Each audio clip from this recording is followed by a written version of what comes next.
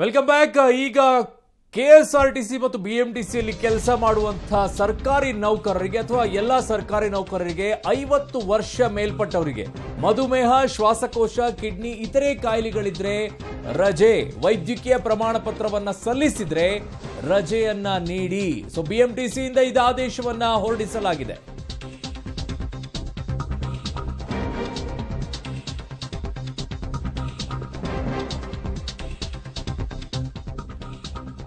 ಐವತ್ತು ವರ್ಷ ಮೇಲ್ಪಟ್ಟವರಿಗೆ ಸರ್ಕಾರಿ ನೌಕರರಿಗೆ ರಜೆ, ಮಧುಮೇಹ, ಶ್ವಾಸಕೋಶ, ಕಿಡ್ನಿ, ಇತರೆ ಕಾಯಿಲೆಗಳಿದ್ರೆ ರಜೆಯನ್ನ ಕೊಡಬೇಕು, ವೈದ್ಯಕೀಯ ಪ್ರಮಾಣ ಪತ್ರವನ್ನ ಸಲ್ಲಿಸಿದ್ರೆ ಅವರಿಗೆ ರಜೆಯನ್ನ ನೀಡಿ ಅಂತ ಹೇಳ್ತಾ ಇದ್ದಾರೆ. ಈಗ ಬಿಎಂಟಿಸಿಯಿಂದ ಆದೇಶವನ್ನ ಕೂಡ ಹೊರಡಿಸಲಾಗಿದೆ. ಸೊ ಕೇಂದ್ರದ ಸೂಚನೆಯಂತೆ ಈಗ ರಜೆ ನೀಡಲು ಆದೇಶವನ್ನ ಹೊರಡಿಸಲಾಗಿದೆ.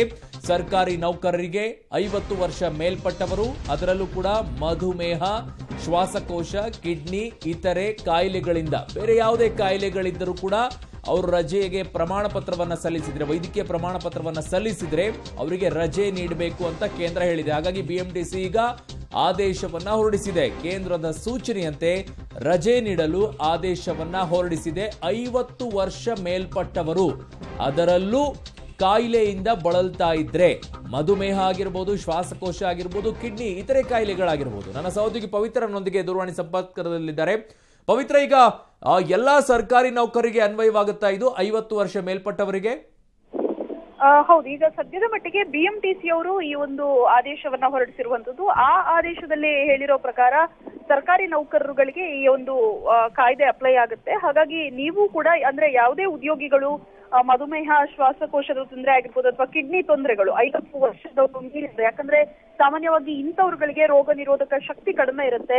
ಸೊ ಕೊರೋನಾ ಹಬ್ಬುವಂತಹ ಭೀತಿ ಹೆಚ್ಚಾಗಿರುತ್ತೆ. ಸೊ ಹಾಗಾಗಿ ಏನಾದ್ರೂ ರಜೆ ಬೇಕಿದ್ದಲ್ಲಿ ಅವರಿಗೆ ವೈದ್ಯಕೀಯ ಪ್ರಮಾಣ ಪತ್ರವನ್ನ, ಆ ಒಂದು ರಹಿತವಾಗಿ ಅಂದ್ರೆ ಅವರಿಗೆ ಯಾವುದೇ ರೀತಿ ಮೆಡಿಕಲ್ ಸರ್ಟಿಫಿಕೇಟ್ ಅನ್ನು ಕೊಡ್ಬೇಕಾಗಿಲ್ಲ.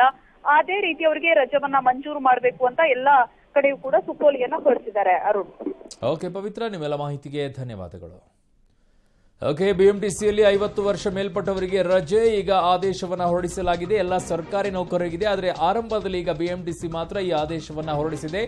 ಕೇಂದ್ರದ ಸೂಚನೆಯಂತೆ.